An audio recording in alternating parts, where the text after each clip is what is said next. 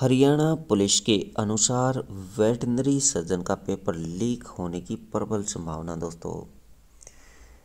HPSC के अनुसार अगर अनिर्णायक रिपोर्ट स्वीकार की तो भविष्य में पेपर संचालित करना मुश्किल हो जाएगा। हरियाणा पुलिस की जाँच रिपोर्ट यह नहीं बता पाई कि किसने पेपर लीक किया और किसने खरीदा। एचपीएससी ने वेटनरी सर्जन का पेपर रद्द कर दिया, दोस्तों। रद्द करके नया पेपर लेने की तैयारी कर ली है। हरियाणा पुलिस ने वेटनरी सर्जन भर्ती परीक्षा की जाँच रिपोर्ट में दावा किया है कि यह पेपर लीक होने की प्रबल संभावना थी। पेपर लीक हुआ था, मगर हरियाणा लोक सेवा आयोग एचपीएससी ने इस रिपोर्ट को स्वीकार करने से मना कर दिया है।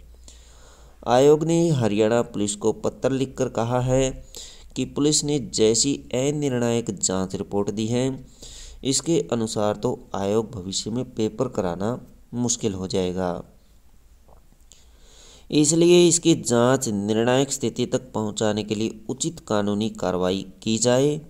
आयोग का यह पत्र पुलिस महानिदेशक और पंचकुला पुलिस आयुक्त को भेजा गया है, दोस्तों।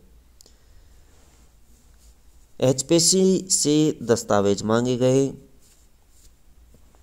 जाँच कमेटी ने 14 अप्रैल 2023 को एचपीएससी के सचिव को पत्र भेजकर आग्रह किया कि उम्मीदवारों से संबंधित रिकॉर्ड्स और दस्तावेज़ उपलब्ध करवाए।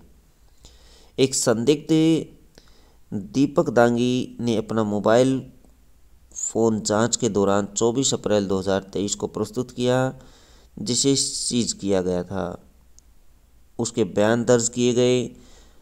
अश्वनी कुमार कमेटी के सामने पेश हुआ और पेपर लीकेज के मामले में उससे ऑडियो रिकॉर्डिंग ली गई और बयान दर्ज किए गए।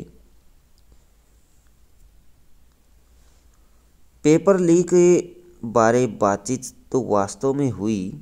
पेपर लीक के बारे में बातचीत तो वास्तव में हुई, लेकिन इसका कोई ठोस सबूत नहीं मिला। तीन उम्मीदवारों के ट्रैवल रूट्स अमान्य थे। इस तरह तो भविष्य में आयोग द्वारा पेपर संचालित करना मुश्किल हो जाएगा।